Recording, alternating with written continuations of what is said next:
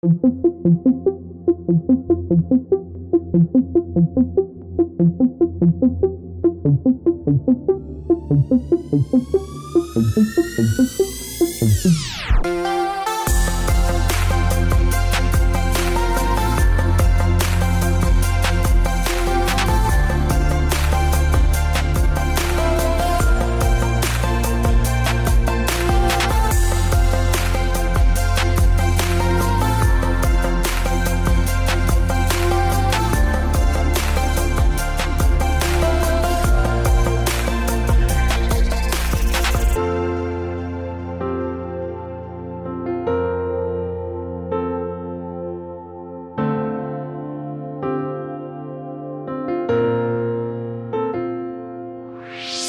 Thank you.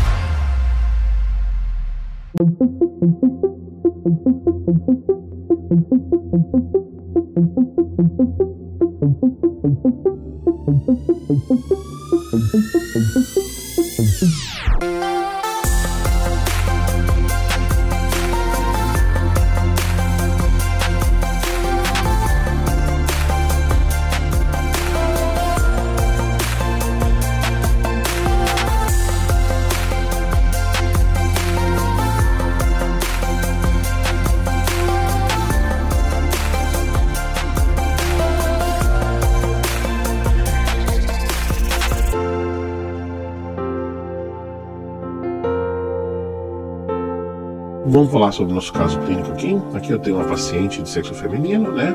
Com histórico de psoríase né? de mais de 8 anos, né? Ela tinha lesões, né? E olha, a paciente entrou em remissão. Os sintomas sumiram completamente.